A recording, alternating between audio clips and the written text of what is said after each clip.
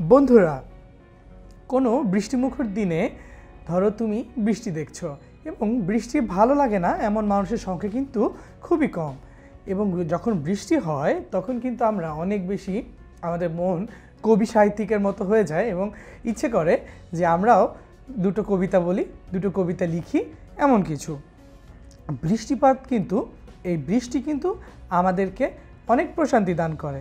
কিন্তু কখনো কি ভেবে দেখেছ যে বৃষ্টিটি কেন হয়, বৃষ্টিটি কীভাবে হয়, আজকে আমরা সেই বৃষ্টিপাত সম্পর্কে জানব। দেখো, আকাশে স্বাভাবিকভাবে মেঘ ভাসমান থাকে।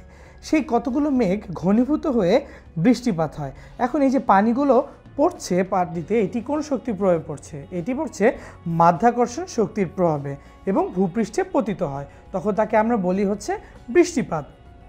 সব কিছুর মতো বৃষ্টিপাত পরিমাপ করারও একটি যন্ত্র রয়েছে এবং বৃষ্টিপাত পরিমাপ করার যন্ত্র হচ্ছে বৃষ্টিপাত পরিমাপ পরিমাপক যন্ত্র যেটিকে ইংরেজিতে বলা হয় রেইন গজ বন্ধুরা এখন আমরা দেখব এই বৃষ্টিপাতের কারণটি কি আসলে। বৃষ্টিপাতের প্রথম কারণ হচ্ছে বাতাসে জলীয় বাষ্পের উপস্থিতি। বাতাসে বাতাসে যখন আহ, জলীয় বাষ্প উপস্থিতি যদি নাই থাকে তা- না হলে তাহলে কিন্তু বৃষ্টিপাত হওয়া সম্ভব নয়। দেখো, বাতাসে যখন জলীয় বাষ্প থাকে এবং বাতাসটি পরিপৃক্ত হয় পরিপৃক্ত হয়। এই পরিপৃক্ত বা সম্পৃক্ত বায়ুর পর- বাতাস কিন্তু আর জলীয় বাষ্প ধারণ করতে পারে না। যখন আর জলীয় বাষ্প ধারণ করতে পারে না তখন এই জলীয় বাষ্পগুলো কিন্তু ক্রমান্বয়ে মেঘে পরিণত হতে থাকে। মেঘে পরিণত হতে থাকে।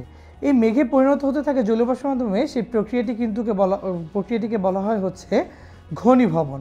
এই ঘনীভবনের সাহায্যে বাতাসের জলীয় বাষ্পটি মেঘে পরিণত হতে থাকে এবং এই ঊর্ধ্বগমন ঊর্ধ্বগমন হচ্ছে জলীয় বাষ্পটি এই যে আমাদের বিভিন্ন উৎস যে পানিতে রয়েছে সেই পানিগুলো জলীয় বাষ্প রূপে আকাশে চলে যাওয়াটা বা বাতাসে জলীয় বাষ্প হিসেবে চলে যাওয়াটা।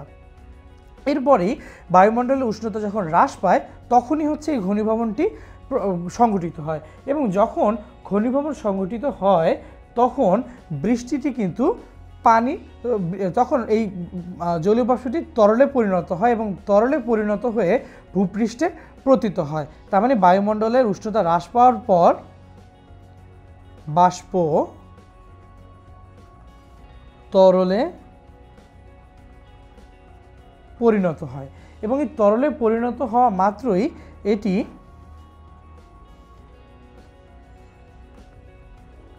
মাধ্যাকর্ষণ শক্তির প্রভাবে ভূপৃষ্ঠে পতিত হয়।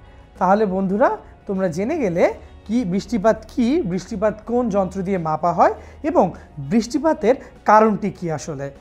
ধন্যবাদ বন্ধুরা।